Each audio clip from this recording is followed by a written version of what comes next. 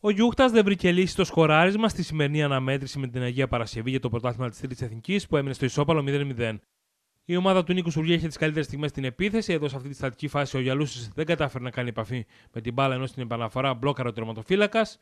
Ενώ στη συνέχεια η προσπάθεια του Δωματά δεν βρήκε στόχο με ένα ξαφνικό σουτ στο 41ο λεπτό. Στην επανάληψη, εδώ διαμαρτυρίες για την ομάδα των Αρχανών σε ένα μαρκάρισμα που έγινε πάνω στον Νίκταρη για πέναλτι. Ο διετή αναμέτρησης είπε: Παίζεται.